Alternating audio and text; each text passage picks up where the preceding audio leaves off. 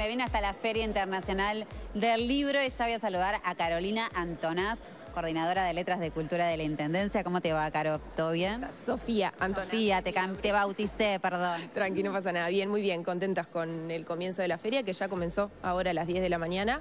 Y tenemos la conferencia de lanzamiento ahora a las 12. Así que bueno, muy contentas. ¿Con qué expectativas ya hay mucha movida, mucha gente que, se prendió? ¿Cuánto público esperan? Bueno, mucha expectativa porque este año la feria eh, es más grande en todo sentido, la carpa de afuera es más grande, te agregamos un fin de semana, cambiamos el horario, así que tenemos un montón de, nada, de nuevas actividades y, nuevos formatos que nos tienen con mucho desafío y mucha expectativa. Contanos un poquito en detalle la cantidad de actividades que van a tener para así la gente que está viendo en la casa se, anima y se acerca y se suma. Bueno, la feria va del 27 de septiembre hoy al 13 de octubre, que son tres fines de semana, desde el de domingo a jueves, de 12 a 21 y viernes y sábado de 12 a 22 eh, y hay actividades todo el tiempo, o sea, tenemos una grilla con más de 30 actividades, además de los stands que venden sus, sus libros. En el uno y medio, como siempre, las salas van a estar colmadas de actividades que hay charlas, presentaciones de libros, eh, actividades musicales, espectáculos para niños y niñas, de todo un poco. Estaba leyendo un poco en las actividades que hay previstas y Comentan que hay un homenaje a Cristina Pérez Ross y de qué va a tratar esa actividad. Bueno, ese es un libro que edita UM con el apoyo de la Dirección de Cultura en el marco de los 300 años de Montevideo.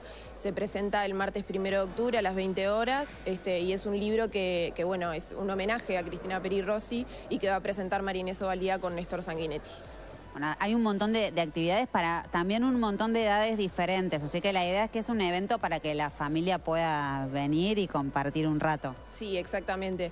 Eh, si bien junto con la Cámara ya organizamos la Feria Infantil y Juvenil, este año en la Feria Internacional del Libro también hay actividades para niños y niñas, sobre todo en el atrio, a ver algunos espectáculos infantiles y la Intendencia otra vez tiene un espacio de cuidados para que los adultos y adultas puedan venir con sus hijos e hijas o niños a cargo y ir a la feria, ir a las actividades y, dejar a sus, a sus niños en el espacio de cuidados. También, como siempre, van a contar con invitados nacionales, internacionales. Sí, eh, como siempre tenemos, eh, nada, eh, fomentamos a los autores y autoras del Uruguay a que vengan a presentar sus libros y hacer sus actividades. Y este año también hay autores y autores de Argentina, Brasil, Cuba, Haití, de todo un poco.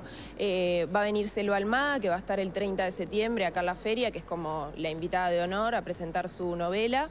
Y además nosotros vamos a pasar la película, El viento que arrasa, que está basada en esa novela, así que estamos muy contentos con eso. Muchísimas gracias por, por estos minutos y bueno, entonces a, la invitación para todos los que están viendo que, se sumen, que hay un montón de cosas para hacer. Bárbaro, muchas gracias. Gracias. Sofía, ahora sí. Ahí teníamos a Sofía contándonos todos los detalles de todo lo que está pasando acá en la Feria Internacional del Libro. Muy bien. Nadia. Lo teníamos a, al Guille Locar también en las imágenes, eh, exponiendo ahí. Con sus libros. Qué lindo. Divino. Bueno, me recibimos con un fuerte